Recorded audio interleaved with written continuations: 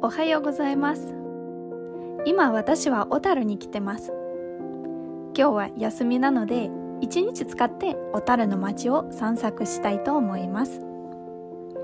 今回のテーマはコスパよく小樽を楽しむことです。それでは準備をして出かけましょう。ちなみに今回はゲストハウスに宿泊してみました。こちらリトルバレルさんです。とっても良かったです。おはようございます。私は今小樽にいます。今日は休みなので、まあ、ゆっくり街中を散策しようかと思います。ということで街中へ行きたいと思います。結構つるんころりん。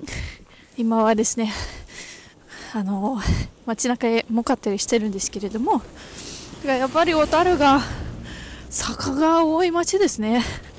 冬の時は結構気をつけなきゃいけないですね。で今年も雪も結構降りました。滑るな。まずは小樽の有名な観光地。小樽栄町通り商店街に向かっています。2年前に来た時はコロナの影響で人が全くいなかったんですね。今は少しずつ観光客が戻ってきているようなんですがちょっとよそを見に行きたいと思います。お宿から出て徒歩5分のところで実はですねもう栄町通りに到着しました。こちらですよ。2年前来た時は全然景色がっていうか光景が違ってお客さんが増えましたね。よかったな。観光客もいるようですね。はいということでちょっと栄町通りで少しプラプラしましょうかね。すごいもうお客さんがいっぱい。えなんか嬉しいわ、まあ、今日はちょっと平日だしね。まだ少ない方かもしれないですね。土日とかだったら土日とかだったらもっともっと来てると思いますね。いいですね。あこれはですね。ルーターですね。ルーターは逆読みだと逆読みすると小樽っていう意味です。小樽の有名なケーキ屋さんですね。なんか美味しいものがたくさんあります。どうしよう。あここも。取ろうかおおつららが落ちちゃった。おお立派なつららですね。気をつけましょうか。小樽は海鮮が有名なので魚介類を扱ってるお店が多いですね。わあマグロだ。マグロの頭ですね。どうやって食べるんだろうこれって。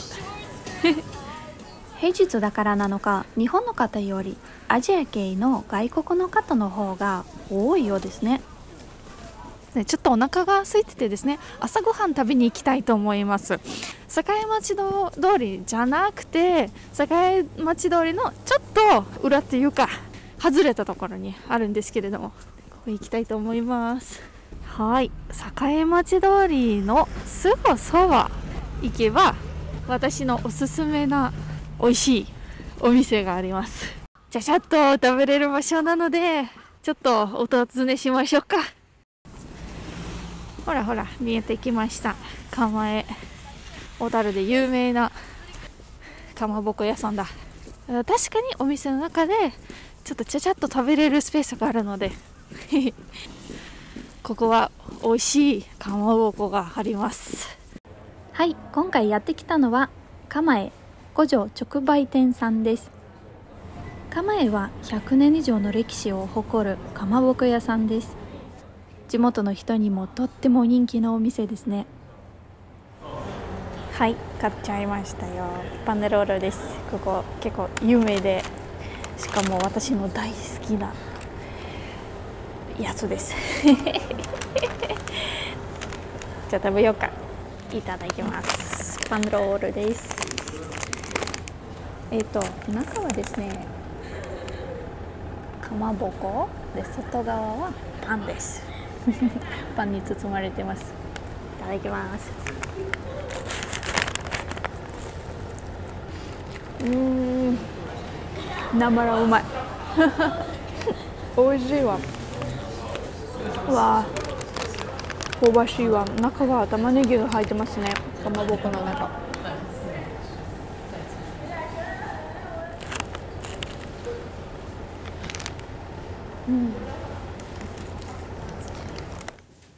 工場直営なのでかまぼこを作っているところを見学できるスペースもあります。うんすごいですね。わあごちそうさまでした。いやうまかったです。散歩に戻りたいと思います。もうお腹満たしたから元気が出ました。よし今は栄町通りにまた戻ってきまして。はあやっぱり私この雰囲気が好きなんですよ。でもちょっとここで散策しよっかな。このなんていうロマンチックで古き良き日本ですね。味わう味わうことができるのでもう大好きです。こんな綺麗な建物とか。これ境町商店街通りでこういう歴史建造物とかも結構残されてますね。いろんな言語にも説明書かれてますね。ありがたいこと。この商店街のそばには歴史的なスポットがたくさんありますよ。こちらは日本銀行旧小樽支店です。現在は金融資料館となっています。じゃあ入りますか。もうお金の好きな私にはここはぴったりのところですねここでは日本銀行の歴史や業務金融の仕組みなどを知ることができます。この建物の設計者の辰野金吾さんは東京駅を設計した人でもあります。中にはさまざまな資料や展示物があります。こちらのコーナーは業務展示ゾーンです。現在世の中に出回っているお札の量は約100兆円以上あるようですね。面白い展示物を見つけました。実際に見ることができます。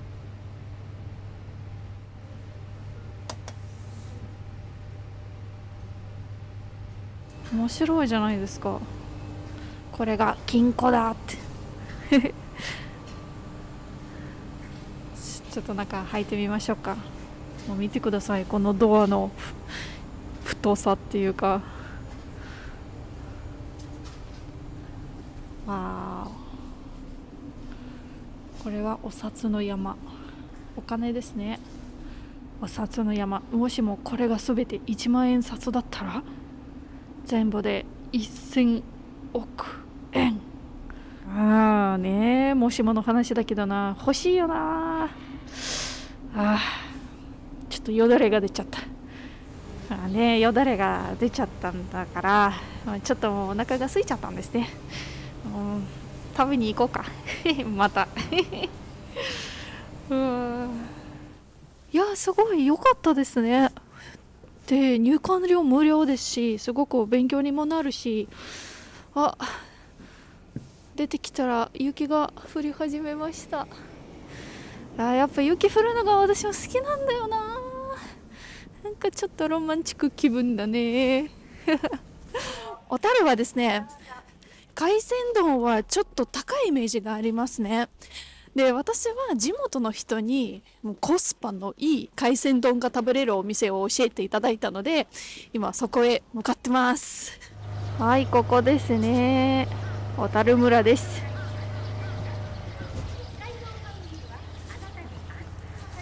ここ美味しく丼があと他のメニューもいただけます。海鮮丼はバレル丼と特上バレル丼の2種類あります。私は一番オーソドックスなバレル丼を注文してみました。900円です。1000以下で食べれるなんてとってもコスパ良さそうですね。いただきます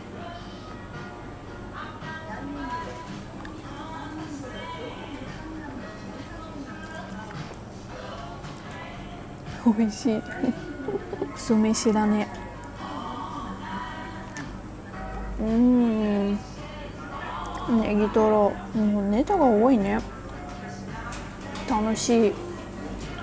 これはタイかな。タイをいただきたい。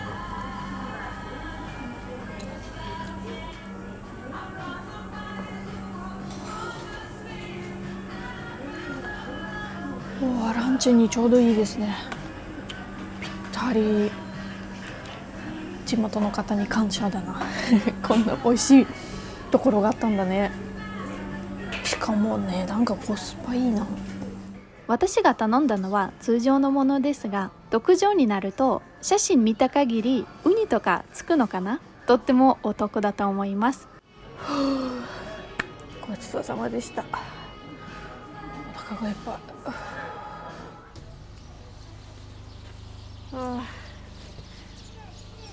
美味しかった。すごいお腹いっぱいです。はあ。じゃあ次行きましょう。わあ人力車だ。大変そう。いいね。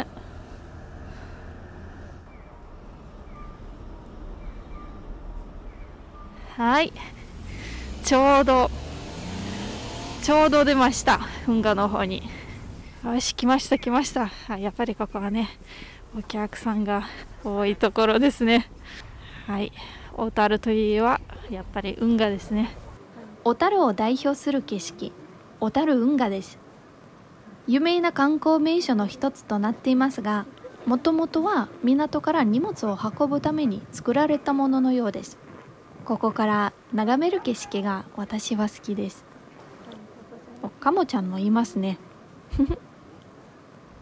もうこの景色私ずっと見れます。飽きないですね。ああ雪が降り出してきてなんかすごい気持ちいい。で気温もえっ、ー、と2.3度ですね。まあまあまあ暖かいですね。はい実は次行きたい場所はすぐ運河のそばにありますね。見てください。小樽芸術村に行きたいと思います。この建物です。そこの中で何が見えるのかお楽しみに。はい道路を渡ってすぐにあります。小樽芸術村ですね。ここ私の次の目的地です。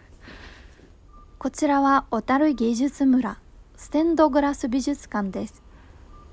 この美術館ではさまざまなステンドグラスの作品を見ることができます。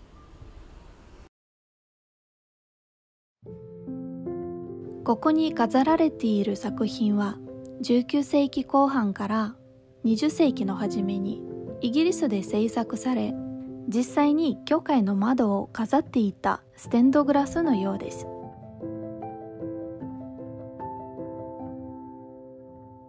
近年イギリスではいろいろな事情により多くの教会が取り壊されてしまいましたがこれらの作品は時代の流れの中で日本にやってきたようです。とっても美しいですね。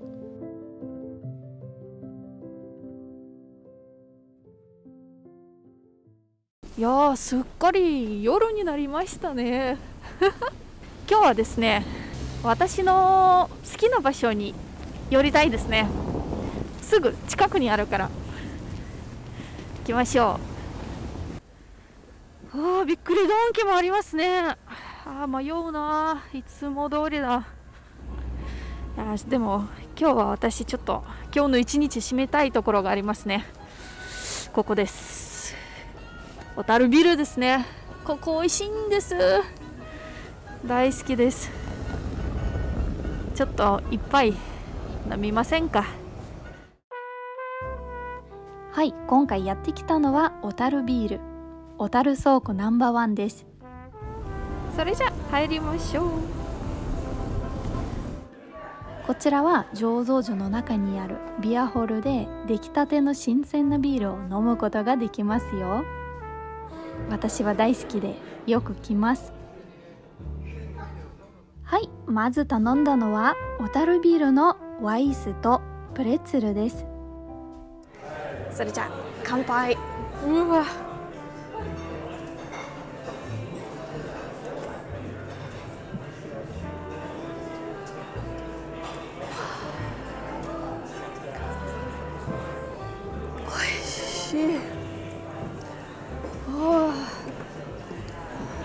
うまいですね。しみるわこれ。これ室岡かな。結構濁りがありますね。美味しいもう飲みやすくてフルーティー。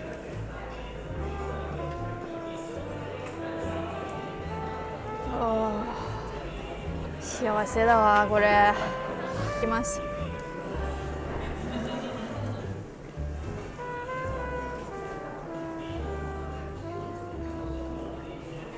おいしい。わあ。わあ今日の一日はここで締めるのは最高ですね。ビルのおつまみに実家製の田舎風テリーヌも頼みました。これもおすすめですよ。テリーヌも食べてみましょうか。いただきます。おおいしいいいね。お酒にいいつまみになってますわ。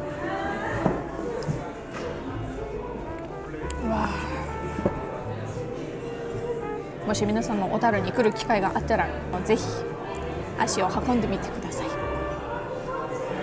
それじゃお疲れ様です。ここは結構お手頃な値段で楽しむことができるのでおすすめです。ごちそうさまでした。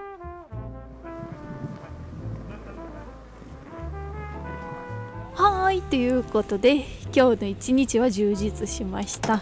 すごい良かったです。